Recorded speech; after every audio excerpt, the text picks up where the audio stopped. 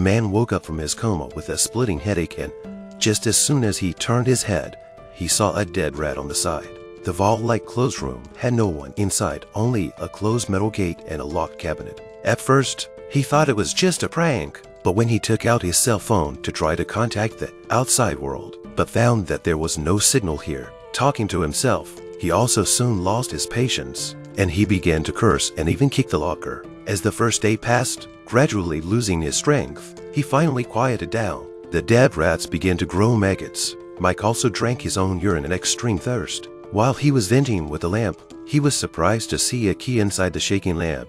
So, he then knocked out the lamp and used the key to open a metal cabinet on the side. The cabinet contained not only the cans of gas, but also some necessary tools. After knocking on the wall of the gate, he decided to use the assembled welding equipment to burn the door. The flame from the welding torch soon gave